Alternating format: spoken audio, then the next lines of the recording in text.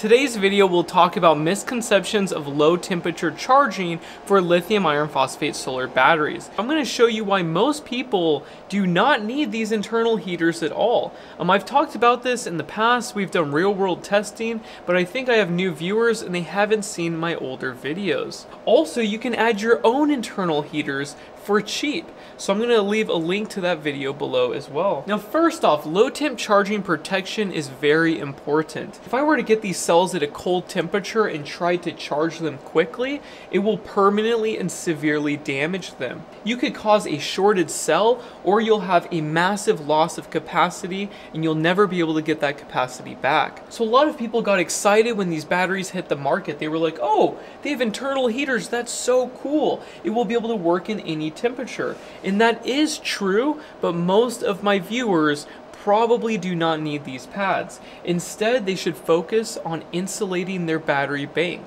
These batteries create heat on their own, especially when you discharge them. And going by the Coulombic efficiency of these cells, about 1 to 3% will be lost as heat.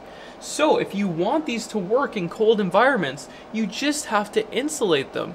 If you want really good performance, especially if you're discharging at high C rates when it's very, very cold and you do not have insulation, then these pads work fantastically. I've also had other comments where people think that these cells are still charging when these pads are turned on, and that is not true. The moment these sensors notice that it's below 32 degrees Fahrenheit or 0 degrees Celsius, it will turn off charging for the cells and then it will turn on the heater pads. It will not start charging again until the temperature sensors reach the proper temperature.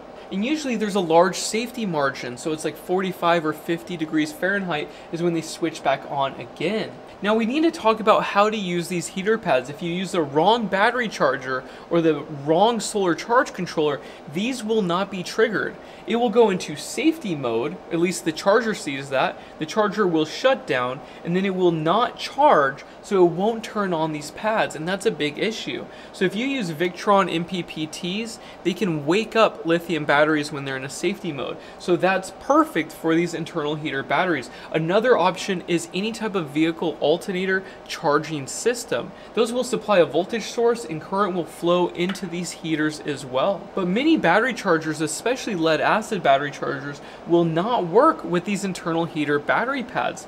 They will disconnect and then they won't be able to turn on the heater pads so the cells will not elevate in temperature and they will stay in safety mode and that's it. And I've had a lot of comments this morning about this problem. Do not use these batteries if you do not have the appropriate charger and that doesn't matter how much money you spend. The KiloVault, the Renogy Smart Battery, all of them work in the same way. For some reason people thought that this was wired differently or it had different software. Absolutely not. Watch my old videos and watch the video where I tested this one. It has pretty much the same software on when to trigger these pads. Now let's get our mind away from these internal heated packs and talk about a traditional low temp charging protection circuit. There is a temperature sensor. Once it gets too cold, it will disconnect the chargers and the loads typically. Now with those packs, we have built those types of batteries in my solar shed a couple years ago.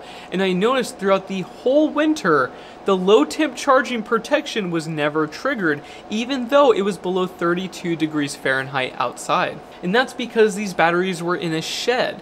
Um, it is very hard to make the entire shed very cold, especially the thermal mass of these cells. To get the cells and the shed to below 32 degrees Fahrenheit is very, very difficult. People don't realize how difficult it really is. And if you want to see this in action, take a Bluetooth battery that you can watch the temperature in real time and throw that battery outside in the snow. And then watch the temperature go down and see how long it takes. Sometimes the sun will come up before that battery actually reaches that temperature. But it all depends on the case material, how cold it is, and other factors. If you have an all metal battery like an SOK or a server rack, it will get cold colder much faster because the metal case will conduct the heat away from the cells much faster. But if you have a plastic case around your battery, it will hold the heat inside. Now let's say you cannot afford these heater pads, but you live in a very, very cold environment and you do not have an insulated building.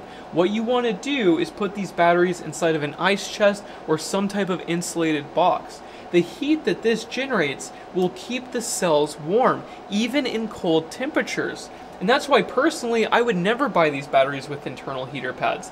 Furthermore, if you don't want to spend the money but you want the heater pads, you can add them yourself. So I also have videos on that. If you're new to this channel, you need to watch my older videos. I have covered pretty much every topic on solar. So please, if you're a beginner and something confuses you or you think something's wrong, please watch my older videos so you can educate yourself and understand how these systems work. Now when we tear apart these internally heated packs, which these are pretty impressive, I think they're very cool technology, and now they're much cheaper, so some people will like these. But if I were to see this temperature sensor near a heater pad, that would be an instant failure and this whole protection system would fail to work in cold temperatures. Also, these are the same heater pads that are used in other more expensive batteries. Some people thought that because it's a budget battery, it doesn't have the same software and build quality as the more expensive ones, and that's not true. But I want to say this one more time. Most people do not need these internal heater pads. If you focus on insulation, or better yet, if you have an RV and you have a living space and you throw these underneath the couch or in a closet, it will probably never get cold enough to trigger these pads ever. I know that you're thinking, oh, but it's so cold outside, Will. But if you have a heater on the inside and you're a human and you're giving off heat, and these create heat and you're holding them in a plastic box, you don't need these heater pads. These only work in very specific situations or applications. Most people do not need them. So anyways, let me know what you guys think about this video and if I missed anything in the comment section below, and I will see you in the next video. Bye.